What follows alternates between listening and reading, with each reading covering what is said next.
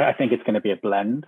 I think certain institutions are already saying quite vocally in the market that they want their teams back in the office and they they don't. They, they, they don't want to support remote working. And i can see benefits to that. I can also see you know some weaknesses to that in that you know it might be that they're less attractive to certain types of of, uh, of future employees. And i just i mean my personal view is is that businesses need to evolve with the workforce and, and part of that workforce need is going to be a want to focus a little bit on, on work life balance.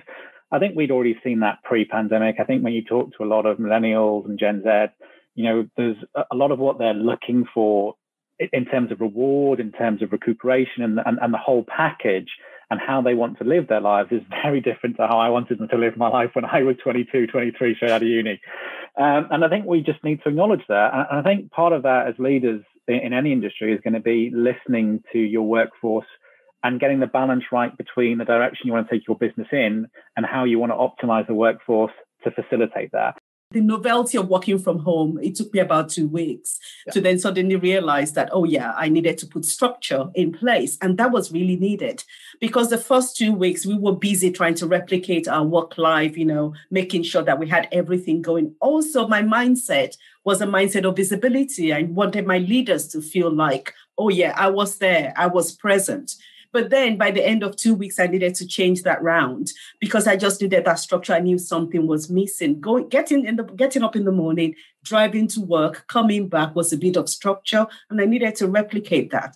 So then, what did I do? Was clear, created very clear space um, around work, created very clear space around life. And also, I took on walking as well. So I would, as soon as it's 5 p.m., if there's nothing to do, there's nothing urgent to do, I would go out for a very long walk. And that brought sanity back. And it's the same thing um, with my family. For kids, I had two, I've got two kids, you know, 16 and 18.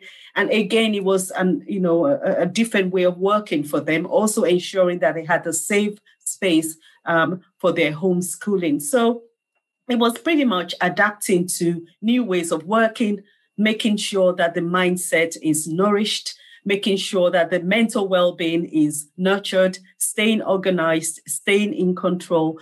My personal experience was the fact that, oh, I could save two hours of commuting to work. Um, it would usually take me about two hours to two hours fro. So for me, that was a benefit, and I was excited um, about that. But as we continued into the pandemic, and it looked like it wasn't going to be a month, it wasn't going to be three months, it wasn't going to be half a year, it was going to be a year, then the novelty of it started to wear out. And that was where I started to observe, you know, the sort of the blurred line between life and work. For me, it was just coming downstairs, and my working hours became longer and longer. Um, what I then found out personally is the fact that I had to personally reset we had to also, also reset um, within the group, ensuring that you know we had that sort of regular interaction with our colleagues, touching base, ensuring that they weren't did too many hours. I mean, if I logged on and found that my direct report was still on, I was immediately getting on the phone to her to say, "You need to really shut it down. What are we doing?"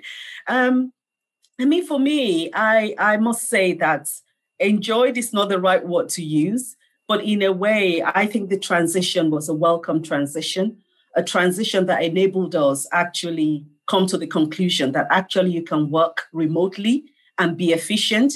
You can work remotely and still and still achieve um, your goals.